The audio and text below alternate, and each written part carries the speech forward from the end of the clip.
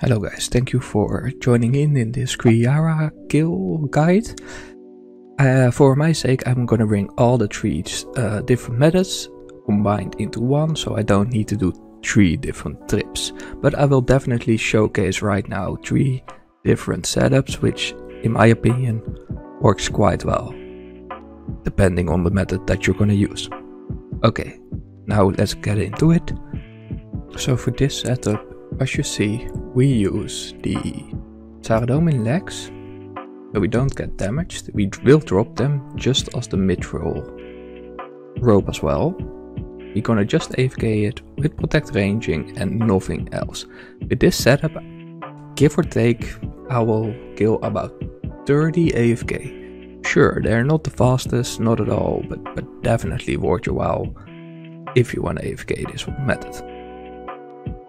So to actually reach Kree'arra, we have to use an Armadyl crossbow. Well, just a regular crossbow will be fine, but since we have an Armadyl one and a Mithril Caporal, we can jump over. The monsters are now gone, so we can drop the Sahara item, the Monk's Robes, and the Mithril. So oh, you watch if somebody's here, since we're in Iron Man we watch here, so nobody's in. Protect for ranging, Eagle Eye, and the first method is gonna be the lazy method, like the AFK method. You wanna run around here. In my opinion, this corner is by far the best corner, since it's super close towards the altar if you need some prayer in between everything. So therefore, you just have it. This is about it. You can just wait and AFK is totally fine. As you see, since we have Armadyl on, we have pretty much quite a decent tank and a little bit of DPS build. We don't get too much damage at all. You can either debate whether you want to have the blowpipe for the minions, or did you want actually the Kodai for the barrages. But that's totally up to you, depending on how much money you want to spend and how long you want to sustain. My method is about give or take 30 with this method, I think. So it's not too bad. Okay, sure, the kills take a little bit long. But I, I wanna not heal and just show you guys how much we can heal back, if that makes sense. At this point. So we're losing about 70 HP. We're cutting it close here. You want, you can do a special attack in the hope that it... That now? Yes, it is. Whip the blowpipe, attack the major. You can use your special attack to heal back a little bit as well, if necessary.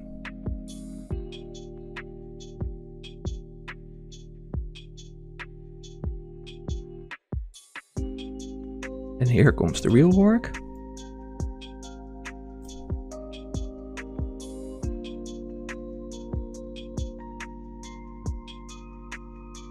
As you see, there are already mushrooms on the ground.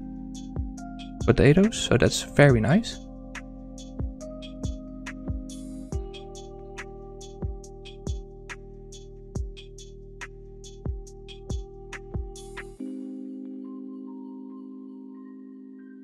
You can do your body off if you want, but theoretically it's plus, with this setup a plus 10 give or take, so it shouldn't be needed.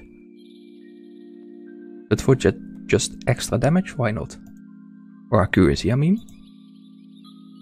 But that was method 1. If you want to actually use the altar, now's the time.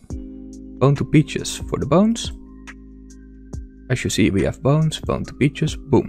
And it heals about a 9, 8, 9, I think. So the sustainability is quite strong in this setup.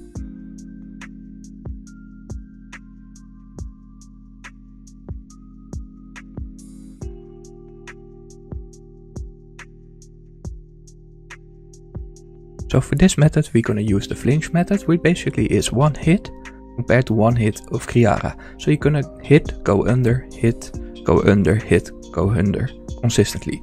Just like you do with Bendals or Kree'arra or for that matter pretty much everything in God Wars Dungeon besides Silly. So honestly not a bad method at all. It's just more sweaty and, uh, you know, personally preference for me, is the stay away. But it is definitely worth to try it out.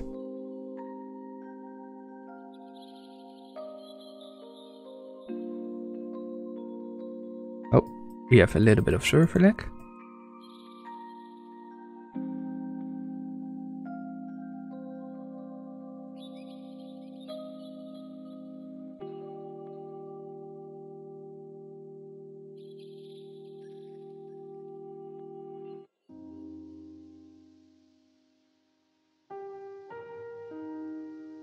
But the nice thing about this is, once you want to eat, you don't really get damage because you're already underneath him, which is in my opinion not too shabby at all.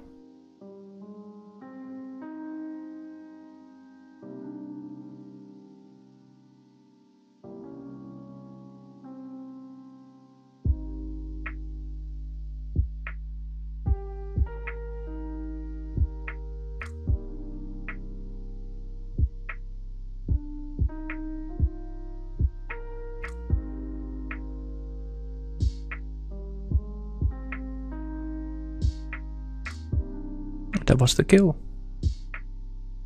Please like, subscribe and hit the notification bell and follow me on twitch.tv slash quality content stream.